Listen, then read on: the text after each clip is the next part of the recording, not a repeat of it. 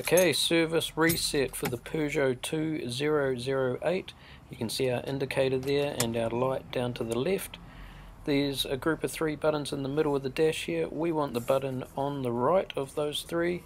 We're going to turn the key off, hold that button down, and then turn our key back on with it held down. That will then start this countdown.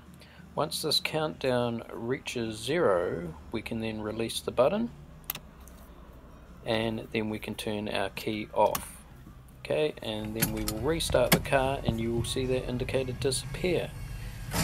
Okay job done nice and easy. Don't forget to like and subscribe for more real tips from real mechanics